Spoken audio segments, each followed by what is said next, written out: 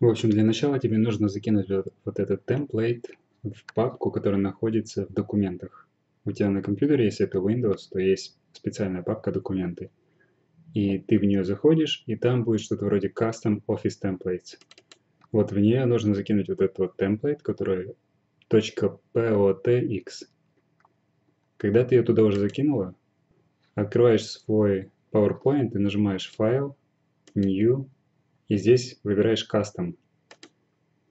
Вот здесь в кастомах, еще раз, вот эта вот папка и есть Custom Office Template.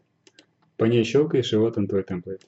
Открываешь, Create, и у тебя получается вот этот есть э, скелет.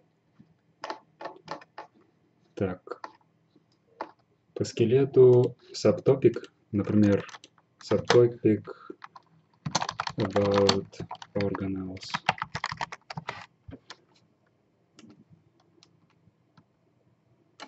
Вот, его на одну линию, например.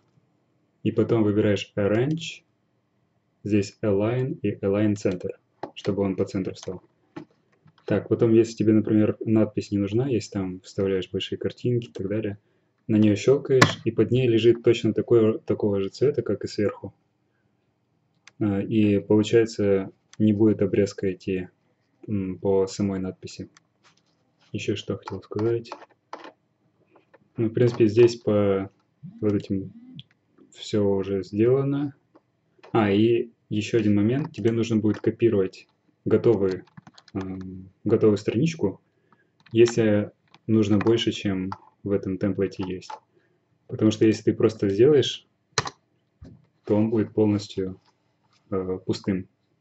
Я пока не знаю, как это сделать, но просто можно вот на него щелкнуть, сделать копии, потом через Ctrl-V, например, наставлять сколько угодно.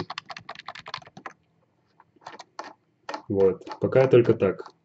Ну, в принципе, все.